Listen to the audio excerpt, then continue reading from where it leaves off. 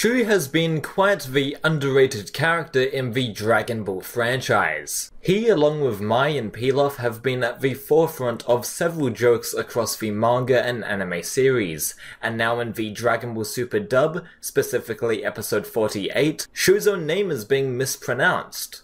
Or is it? To give you some much needed context, throughout the Funimation English versions of the Dragon Ball and Dragon Ball GT anime, Shu's name was pronounced as Shu, as in the objects everyone puts on their feet. Well, everyone except Puar.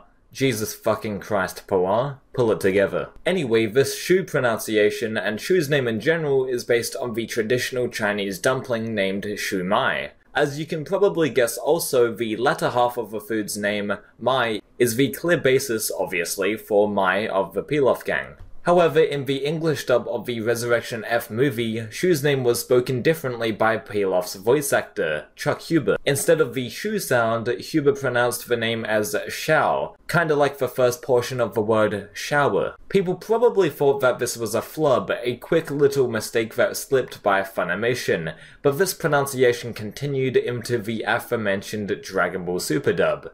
You heard him, Shao! What are you waiting for? What? What do I have to go? And let me tell you right now, Shao is not an oversight and is completely intentional. Why is Shu's name altered to Shao in the dub though? To answer that question, we must again take a look at the origin of his name, which stems from Shu Mai. In Chinese, the food is pronounced as Shao Mai, so Funimation simply took that and said Shu's name as Shao from Resurrection F onwards, for whatever reason. This isn't the first time that a dub has used the Shao pronunciation, as in the BLT 1995 dub of Dragon Ball, they also said Shao instead of Shu. Well then, could it be, Shao, that we are both mistaken, and that you are the one who broke wind earlier? Both ways of saying Shu are technically correct, and for reference in the original Japanese dub, Shu's name is spoken as Shu, referring to the food shumai. Piras-sama, dekimashita.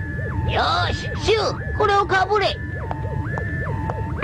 The strange aspect about his name is that in the English credits of Dragon Ball Super, they spell Shu as Shou, even though they pronounce it as Shao. In closing, whether you like the Shao pronunciation or would rather Funimation stick to the Shu sound, I think we can all agree it isn't a huge thing to get outraged over in the grand scheme of the Super dub. Although I did want to clear the air if anyone was confused about this, and I hope you found this informative. I'll see you later.